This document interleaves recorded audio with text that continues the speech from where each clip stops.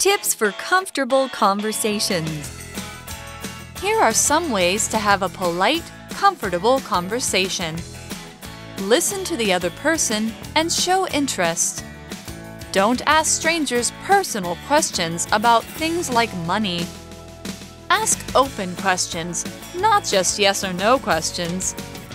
Don't say bad things about a person's looks. Don't just talk about yourself. I like your shirt. Where did you buy it? How much money do you make at your job? Who's your favorite singer?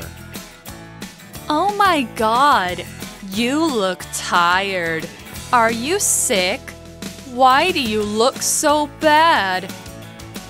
Did you put on weight after the Chinese New Year vacation?